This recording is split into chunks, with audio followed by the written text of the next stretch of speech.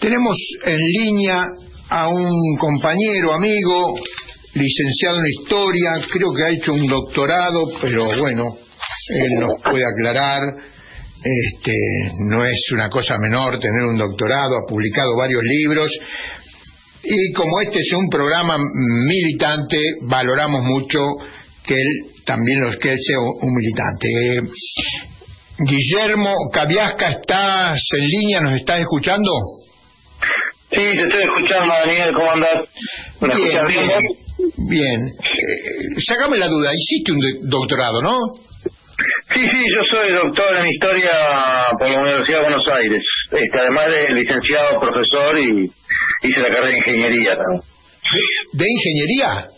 Sí, sí, Ingeniería Electrónica en, en la Universidad Tecnológica. ¿Y terminaste? Eh, terminé, pero no tengo título, digamos, porque la verdad que abandoné al final. Pero hice los seis años de carrera y todas las materias. Ah, o sea que sabes, un, Por eso manejo, matemática. Claro, manejo bastante, por lo menos una lógica, y soy técnico, soy técnico del, escuela industrial, ¿no? También. Este, o sea que estuve 15 años, más o menos 15 años, pero estuve, eh, sí, casi 15 años en, en carrera técnica. Ah, eso te estructura, eso te estructura un poco este, y te da cierta lógica de pensamiento racional este de base para todo lo demás. ¿eh? Te digo, para, para, mí me, me, sirvió.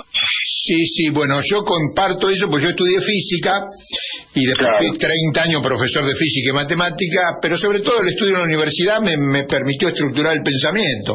Cuando empecé a, a trabajar en, en, historia, digamos, para la publicación de los libros del, del PRT me sirvió, digo, bueno, ¿qué hago? Y bueno, empecé a deducir lógicamente y fui haciendo, fui aprendiendo sobre la marcha. Bueno, vamos al tema de hoy. Mira, eh, tenemos dos temas, el de las Malvinas, que está vinculado con la guerra, y después vamos a hablar de la guerra en Ucrania. Dale, dale. Sigo, tu, sigo tu, tu conducción acá. Te quería preguntar, este porque acá hubo un debate el sábado anterior, muy breve, pero que quedó pendiente para continuarlo. Entonces te pregunto si los argentinos debemos sostener la integridad territorial en el Atlántico Sur, en la Antártida y, y las islas, bueno, que están en el Atlántico Sur, en la Antártida, o ello ah, nos tiene que resultar indiferente a la clase obrera y al pueblo argentino. No hablemos de la, de, la burguesía, de lo, del capital financiero. Digo, al pueblo argentino, ¿le es indiferente eh, tener este, la integridad territorial de toda esta región? Mira, yo creo que es sorprendente que eso se ponga en debate sobre todo cuando estamos hablando de la integridad territorial de un país del tercer mundo, de un país oprimido, como se decía antes, y creo que no es, incorrecto llamarlo de esa forma, como lo decían los socialistas, los comunistas, en, el pasado por lo menos, la gente de izquierda del pasado, este no me parece me parece sorprendente que se ponga en discusión eso sobre todo cuando estamos hablando más aún siempre es importante no pero más aún cuando estamos hablando de la integridad territorial frente a grandes potencias capitalistas e imperialistas, ¿no? Este, eh, renunciar a eso este, sería además de una cuestión que tendría que entrar en discusión de qué cuál es este el objetivo de la clase el objetivo nacional no el objetivo económico inmediato en la lucha cotidiana económica de la clase obrera o de cada obrero o cada conjunto de obreros en cada rama de la producción sino el objetivo nacional ¿no? Como clase nacional, como clase que busca ser hegemónica, como clase este, este, sobre el conjunto del territorio, renunciar este al, a la base territorial, ¿no? De su propio, de su propio poder en el futuro, este, y renunciarlo frente a potencias, este, grandes potencias imperialistas que son parte clave junto con las burguesías imperialistas locales, ¿no? y no solo las imperialistas, ¿no? las burguesías asociadas a que estaciones locales, de una parte de su territorio, este no sé, me parece sorprendente que eso se ponga en discusión, digamos, este, la verdad que va en contra en general del desarrollo este, histórico eh, que uno pueda analizar de los procesos revolucionarios, del, del, de, los movimientos revolucionarios, este, socialista, comunista, este, de la Frente de Liberación Nacional, inclusive de la Frente de Liberación Nacional, conducidos por organizaciones marxistas en todo el mundo. Este, la experiencia histórica este, no cuestiona eso. Eh, eh, después, para nosotros, en el caso particular nuestro, argentino, de las tareas de liberación nacional, inclusive de construcción nacional, están en en, en, pleno desarrollo, yo diría en pleno retroceso, desgraciadamente, ¿no? Este es otro tema, eso, ¿no? Este, pensar la lucha de la integridad territorial en un caso concreto frente a una, una, una de las principales potencias imperialistas que mantiene un enclave colonial reconocido este, indudablemente un enclave colonial este, sobre un territorio en el mundo es estratégico, en el mundo, que en América Latina y el mundo es estratégico, que le otorga al, al enemigo principal, al enemigo más importante, este, una base de proyección económica, geopolítica sobre el conjunto de América y, sobre Argentina, obviamente, este, que a su vez le da al, poder imperialista mundial, ¿no? Al poder, al poder, aunque haya evolucionado, sea transnacional, más global, tenga nuevas bases, este, pero sí, sí, yo creo que no es erróneo seguir llamando poder imperialista este, a las grandes potencias, este, le, otorgarle una base este, que nos corresponde a nosotros los argentinos, principalmente disputarla, todos los latinoamericanos, pero nosotros los argentinos, no lo van a disputar los peruanos, digamos, nos corresponde inicialmente a nosotros, llamar a los demás a colaborar con nosotros, a recuperar eso, regalarle eso, con la proyección que tiene en el mundo sobre un océano. Eh, eh, Guillermo, Guillermo, por, ahí tengo algunas eh, interferencias te quiero repreguntar lo que acabas de decir. Nos correspondería a nosotros, creo que dijiste, llamar a los peruanos, a los bolivianos para ampliar el frente para mantener los recursos en el Atlántico y en la Antártida. Creo que dijiste eso. Claro, o sea, nosotros lo que quiero decir y pensando en muchas discusiones que se dan en el presente también, lo que lo que señalo, y, decime si, si hay algo, yo te escucho bien y claro, yo te escucho fuerte y claro, digamos, ¿no? Pero este, es, es este, nosotros no le podemos pedir a los demás países latinoamericanos que peleen algo por nosotros, digamos, ¿no? A América Latina, dentro de América Latina, le corresponde a Argentina, en lo que hace el Atlántico Sur, a la Antártida y a las islas del Atlántico Sur, encabezar la lucha por la integridad territorial, no solo de Argentina, sino de un territorio que es claramente latinoamericano y que afecta la seguridad y la defensa de América Latina y la riqueza y libertad de América Latina para proyectarse este, y, a la, la clase obrera de América Latina este, cuando tenga poder sobre sobre su, sobre su propio territorio para proyectarse en el mundo. Nos corresponde a nosotros. O sea, que en Argentina alguien cuestiona eso, a mí me parece que es un socio del, del imperialismo, sinceramente, por más que se escude con, con, una bandera de cualquier color. Yo no lo puedo entender. Eh, sí, no, lo comparto completamente y bueno, con otras palabras más o menos dije lo mismo para, pero me pareció que la pregunta sirvió para que ampliaras y, y quedara mucho más claro tu posición. Te pregunto, pero está implícito, pero te pregunto, ahora que las grandes potencias, Estados Unidos, China, eh, bueno, Inglaterra, Francia, eh, se disputan las materias primas eh, de los países del tercer mundo. La clase obrera argentina, como clase, como bien dijiste, como clase nacional, que no tiene nada que ver con nacionalistas, son dos cosas distintas. Clase nacional es que defiende, eh, que está extendida en todo el territorio y defiende los intereses de ese territorio. Como clase nacional, no como clase subalterna, sino como clase dirigente, eh, le interesa o no tener este acceso en su territorio a las fuentes de materias primas, de alimentos, de materias primas para la industria, de energía, o es lo mismo que ir a comprárselo a Inglaterra, por ejemplo, que la fuente de energía de la Patagonia se la tengamos que comprar a los ingleses, la de las Malvinas se la tengamos que comprar a los ingleses y lo mismo este, la Antártida a los norteamericanos. Eh, la clase obrera, eso no es parte del programa de la clase obrera o solamente se tiene que preocupar hoy por el aumento de salario. Bueno, volvemos al tema del economicismo, ¿no? Volvemos al tema al tema del economicismo. Yo creo que, sí, la verdad que la verdad que no leo, no, releo, digamos, el manifiesto comunista hace mucho tiempo, ¿no? pero creo que en algún texto fundamental del mismo Marx o de Engels, cuando habla de prioritarios de los mundos unidos, bla, bla, bla, bla, bla, en algún momento dice que cada la clase obrera debería resolver en primera instancia sus problemas con su burguesía en su propio país, ¿no? Ajustar las cuentas, algo así, ajustar las cuentas con su propia burguesía. Yo creo que en, eso que, que, en, ese, en esas cuestiones, ya no en los textos más elaborados, sino en los manifiestos más, sencillos, más programáticos iniciales, ¿no? De todo, de todo el marxismo, este, está bastante claro que este el ejercicio no, usa este concepto pero vamos a, referirnos al concepto que estamos hablando, nosotros acá la recuperación de este, la clase obrera de la capacidad de ejercer la eso es de ejercer la soberanía ¿no? en términos este, de su sobre, sobre su propio espacio geográfico es fundamental o sea no es lo mismo para la clase obrera no es lo mismo para el pueblo en general para las clases oprimidas en general este ser dueñas de sus propios recursos, pelear por la recuperación de sus propios recursos, que pelearlas, que, esos recursos estén este, en manos de este, grandes corporaciones extranjeras.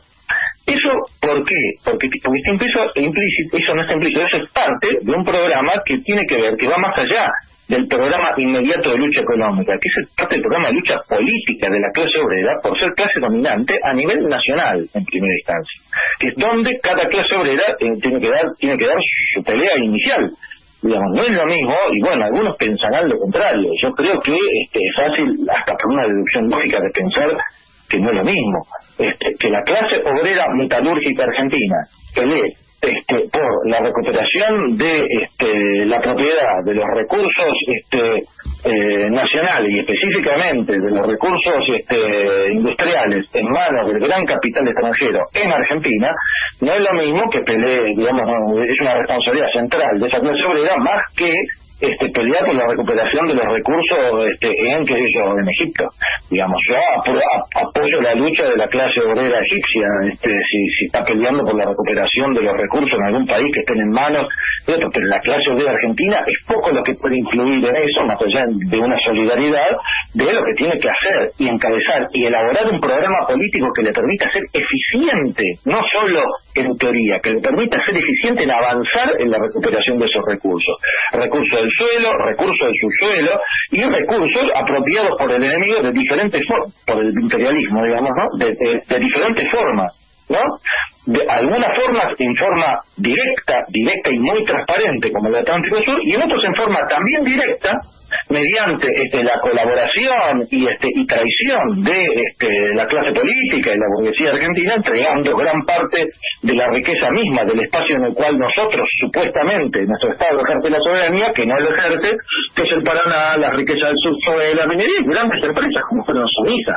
No es lo mismo. Digamos, si un, alguien que se proclama este partidario de, de las luchas de la clase obrera dice que es lo mismo que Somisa sea del Estado que, que Somisa sea de este de Techín y, la verdad que yo diría que no que no que no que, se equivoca este y segundo que es lo mismo que una empresa sea del Estado que, que sea del que haya sido, haya pasado al capital, que teléfonos, los teléfonos, que, que sea del Estado, hayan pasado a ser capital extranjero, este, diga que es lo mismo y tampoco conoce bien o ha balanceado mal o ha balanceado o ha estudiado y ha sacado conclusiones muy distintas de la que yo por lo menos, y creo que una, que siempre se sacaron los revolucionarios de cómo son los procesos revolucionarios este, en todo el mundo, que empiezan con procesos de nacionalización y de apropiación por parte del Estado y, y, también de apropiación del Estado por los trabajadores y de apropiación del, por parte del Estado de los recursos este, del suelo, del subsuelo y de las grandes empresas este, que, el gran capital, que los grandes riquezas estén en manos del extranjero, aleja mucho más a los trabajadores de tomar cualquier tipo de posibilidad de decisión sobre su propio territorio.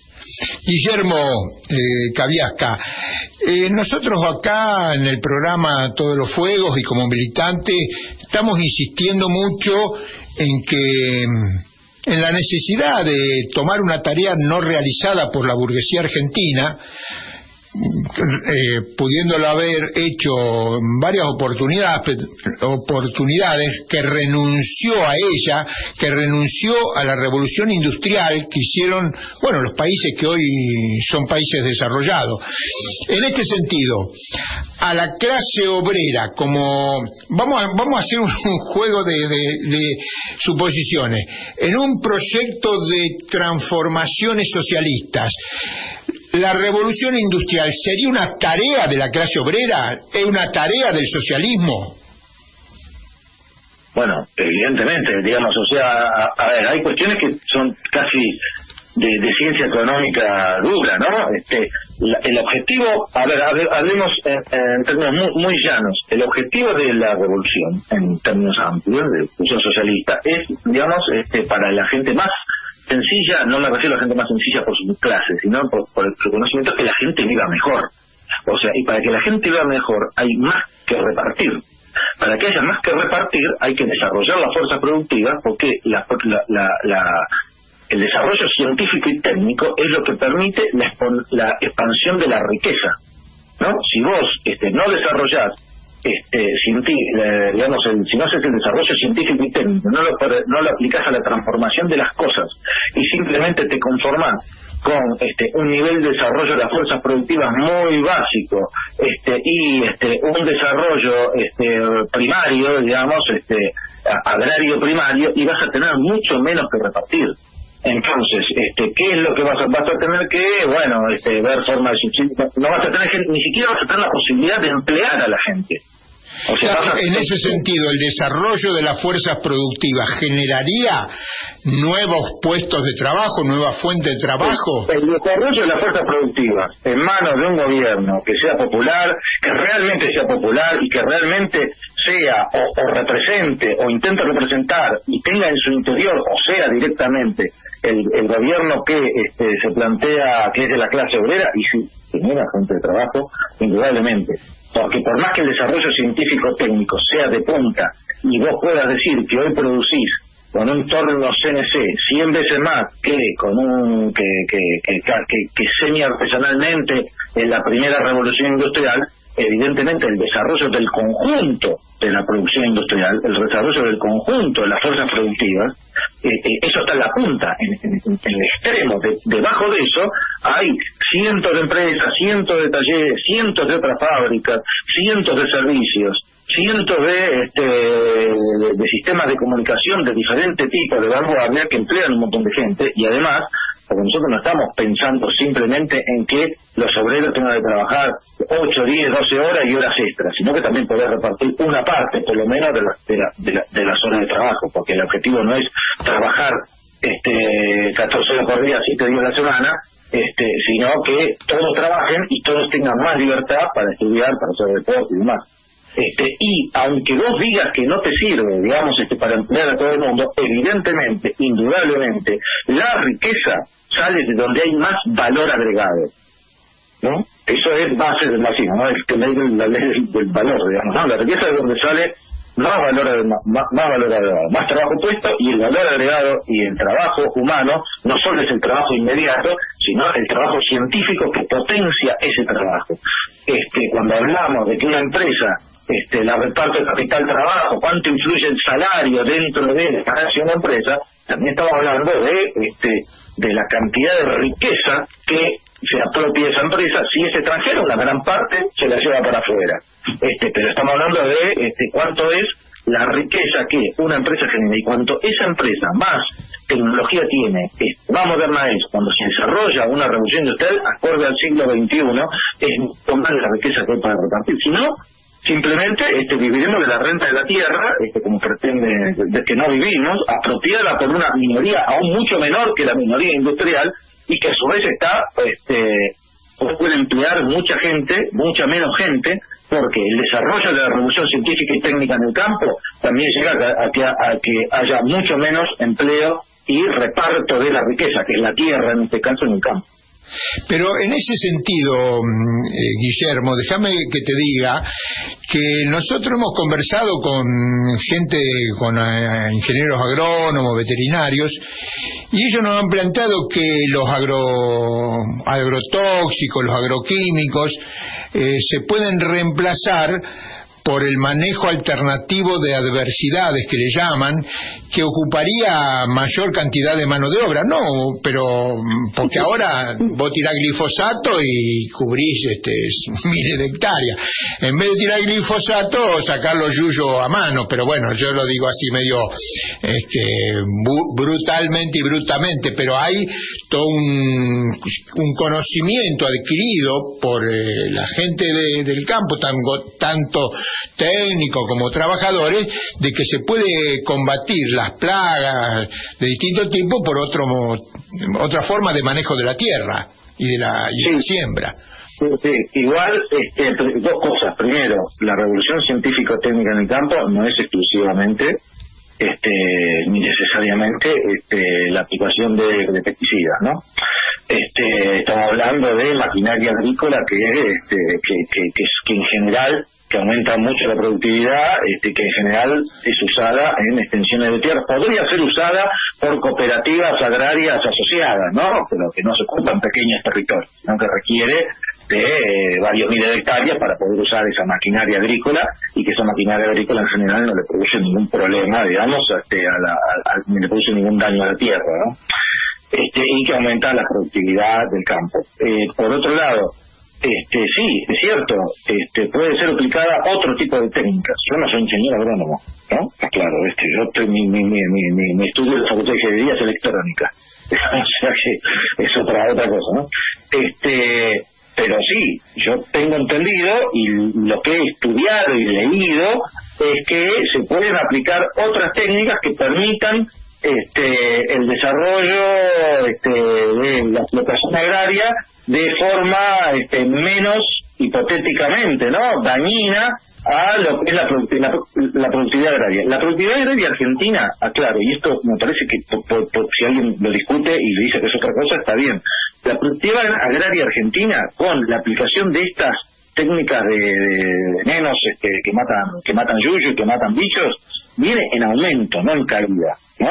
Eh, aclaro, ¿no? Viene en aumento. Yo no sé si nosotros tenemos que aumentarla más, no digo eso, no digo que sea el mejor método, no digo que sea el mejor método. Segundo, tampoco creo que el mejor método sea la concentración necesaria de grandes coljoses y soljoses como planteaba la Unión Soviética este, en grandes fábricas agrícolas este, con la, tecnología de decenas o cientos de miles de hectáreas. No, no, no digo que sea eso. Quizá lo mejor sea, en algunos casos, que hayan grandes extensiones de tierra, que se aplique, este, concentre eh, la producción de determinada forma y la, aplicación de maquinaria agrícola de determinada forma y en otros que haya cinturones urbanos de producción este, frutihortícola y otra producción menor que se pueda comercializar mediante cultivos este, y comercialización más artesanal que está hoy oprimida por los sistemas de comercialización y de venta que, que, que, lo, que lo penalizan ¿no? en torno a las ciudades que te, que te permita este, producir este, un montón de productos que consumimos directamente tan bacán o más barato, y seguro más barato, este, para el término de comercialización, mediante la producción de tierra en, no sé, 10, 20, con campesinos, con productores de menor cantidad, en menor, en menor escala. Eso este, no lo niego. Lo que, no, lo que aseguro, lo que sí creo asegurar, y podemos y que discutirlo con números más este, técnicamente, es que el, el, campo no puede, puede emplear, o sea, puede tener mucha más gente asentada de la que tiene, pero aunque hablemos de gente, más gente asentada de la que tiene, no estamos hablando que reemplaza al, a la producción industrial, porque inclusive la producción industrial tiene que producir este, las cuestiones de consumo, que los medios de producción necesarios para el campo, que es algo que en Argentina se producen, eso, eso no, hay que mirarlo. En Argentina los medios de transporte necesarios para toda esa cuestión, que a su vez es una rama de la industria, los ferrocarriles, los medios de transporte necesarios para, que es otra rama, los puertos, que es otra rama de industria, vinches, camiones, qué sé yo, los medios necesarios de transporte que son los barcos, pues ya estamos hablando aún dentro de un sistema agrario, ¿no? Este, que no creo que sea este, lo ideal, porque después vos tenés que consumir todos los productos industriales que son máquinas herramientas de consumo cotidiano, autos, computadoras, no digo que todo se pueda producir en el país igual. Y a eso vamos subiendo en la escala y llegamos a la producción de, bienes de capital, que es, eh, digamos, la gran carencia de la economía argentina. Eso es lo que nunca se llegó a cumplir en forma suficientemente, no se llegó aproximadamente a cumplir en forma satisfactoria. Creo que ahí entramos en eh, máquinas productoras de máquinas, digamos, o sea, produciendo bienes de producción. Exacto. Guillermo, eh, acá me indican que estamos sobre la sobre la hora, no llegamos a Ucrania, pero el tema de Argentina se hizo muy interesante, con muchos elementos, con muchos datos, así que mm, lo dejamos para otra oportunidad y te agradecemos este, tu participación y todas las cosas que nos han dicho. Y bueno y te pedimos antes de un saludo un que redondees o una propuesta o lo que quieras decir a la audiencia de todos los fuegos bueno, primero, que me, es lástima que no, no, no pudimos hablar del tema de Ucrania, que creo que nos está afectando este, en forma directa, no por los, por los precios, por la, por la incapacidad o falta de voluntad del gobierno de, este, de hacer que las cosas valgan lo que valen en Argentina, porque se producen en Argentina, pero sobre todo porque es un tema de geopolítica mundial donde está en juego este, un cambio este, fundamental y que la posición argentina, este, la verdad, este, está siendo lamentable inclusive para un país que no, si la comparamos con otros países como Brasil o México, digamos, y que nosotros podríamos ser un poco más libres o tener un poquito más de nosotros, nosotros no me refiero al pueblo, no me refiero al gobierno que, que entra en una debate. Segundo, que el tema Malvinas es un tema muy importante, que la clase obrera lo tiene que eh, tomar y encarar como un desafío, y como un desafío que las clases obreras del mundo han tomado siempre, que es defender lo que es suyo, el territorio que es suyo, el territorio que reclaman como suyo, y un territorio, y además un tema que se proyecta en, no solo en tema territorial, sino en relaciones de dependencia al interior del país, con un conjunto de leyes que no son solo por los ingleses y solo por Malvinas, no, me siento el tratado es una parte más, pero con un conjunto de leyes que estructuran nuestra dependencia, que, estructuran, digamos, la incapacidad este, Argentina de, de, moverse en forma por voluntad de la burguesía, ¿no? que es la que pactó eso, durante, sobre todo durante el menemismo, pero que nos, que nos, que nos, que nos condiciona el tema de petróleo, en tema de pesca, en tema de desarrollo industrial, en tema de finanzas, están relacionados con Malvinas, están relacionados, la indefensión argentina en general, y, y gran parte de la incapacidad argentina de tener una política independiente como la que está teniendo, mínimamente independiente, mínimamente independiente en el escenario internacional, está relacionado con Malvinas, está relacionado con este con el enclave colonial de Malvinas y su proyección a la geopolítica y la diplomacia argentina y a la mentalidad colonial de nuestra clase política y nuestra burguesía, que asume Malvinas como una carga y no como un desafío y los trabajadores, a diferencia de la burguesía, tenemos que tomar a Malvinas como un desafío de liberación nacional y de justicia social, no solo ir de independencia, no, al revés de lo que lo toma justamente la burguesía, que como este, un condicionamiento al cual habría que olvidar. Guillermo, eh, te agradecemos eh, mucho la, tu participación y la contribución que has hecho, que nos deja más no sé si sabio, pero sabiendo más cosas que antes. Te mandamos un fuerte abrazo.